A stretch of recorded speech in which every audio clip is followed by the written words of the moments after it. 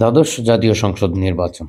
এই নির্বাচনকে ঘিরে বাংলাদেশের রাজনৈতিক অঙ্গনে অস্থিরতা চলছে। সাতই জানুয়ারি বাংলাদেশের দ্বাদশ জাতীয় সংসদ নির্বাচন হয়ে যাবে। এই নির্বাচন আসলে কে জিতবে? আপনি যদি বাংলাদেশের যে কোনো প্রান্তে যান, যে কোনো নাগরিককে জিজ্ঞেস করেন, তাহলে সে নির্দ্বিধায় বলে দিবে যে আওয়ামী লীগ জিততে চলেছে।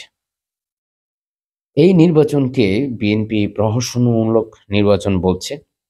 অর্থাৎ এই নির্বাচনে যারা অংশগ্রহণ করছে জাতীয় পার্টি, আওয়ামী লীগের সমর্থিত, দামি প্রার্থী, আওয়ামী লীগের স্বতন্ত্র প্রার্থী, আওয়ামী লীগের, আওয়ামী লীগ তো নিজেরাও আছে।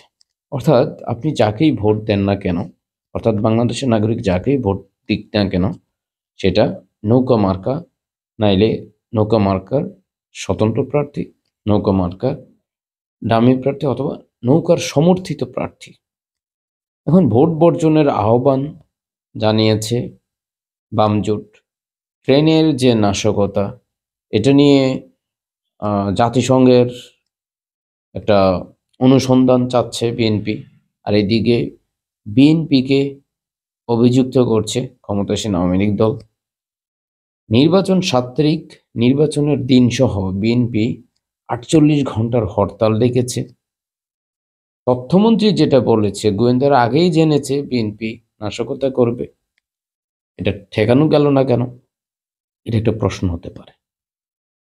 কোন দল জিতবে সেটা আগেই যে কেউ বলে দিতে পারছে।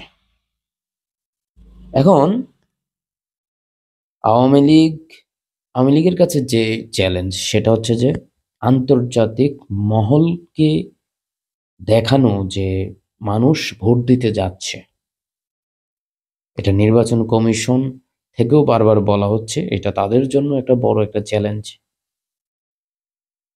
আপনারা যারা যেখান থেকে ভিডিওটা দেখছেন, আপনি আপনার এলাকার বর্তমান পরিস্থিতি কি দেখছেন জানাবেন কমেন্টে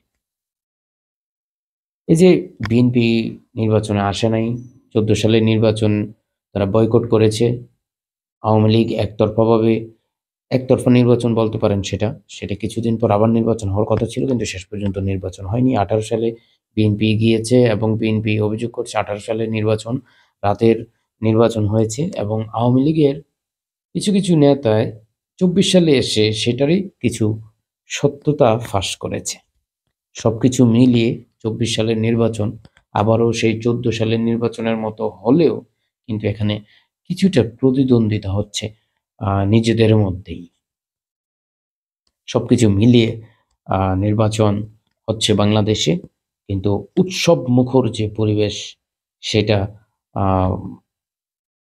সেটা আসলে বোঝা যাবে নির্বাচনের দিন এবং পরবর্তী দিনগুলোতে আসলে কি হয়। এখন নির্বাচনের পরে কি হতে পারে?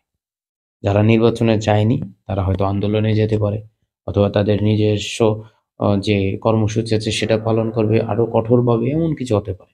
আপনারা কীভাবে দেখছেন দুই সালের নির্বাচন? জানাবেন কমেন্টে।